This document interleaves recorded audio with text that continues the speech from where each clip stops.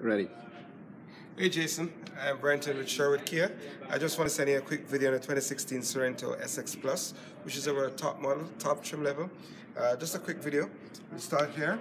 Uh, with this one, you'll get your backup camera, right? It's a fully powered trunk that lifts by itself right there.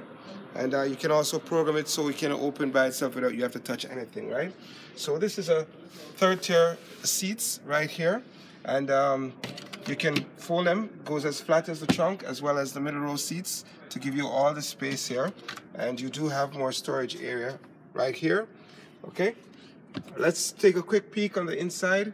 I'll just give you a quick look on the outside of the car. See, you have nice 19 inch allied rims here with your all-weather tires. Okay. This is your rear seats. They are leather. They are heated seats. It's uh, adjustable seats as well. You have your panoramic sunroof there. Right? And it's all LED lights inside and outside. We also do have another screen here, which is a sunshade screen built to the back of the car. And in here, it's all powered windows, all powered doors, right? Powered seats, fully powered seats. You have your change in lane detection, your blind spot detection right there.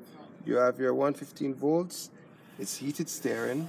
It's heated and cooling seats as well. You have your cruise control, adaptable cruise control. You have a nice big screen there with your navigation, your satellite, your Bluetooth, everything. And um, you have all your control panels here for your weather and heated seats, cooling seats, heated steering wheel, electronic parking brake, parking assist. This is a 360 camera, so you'll have camera all around this vehicle.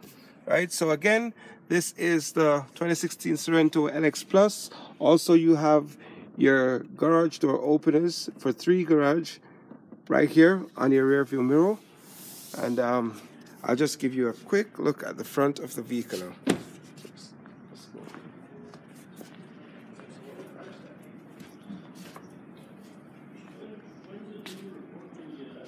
Yes, so again, this is the 2016 Sorento SX Plus. Thank you.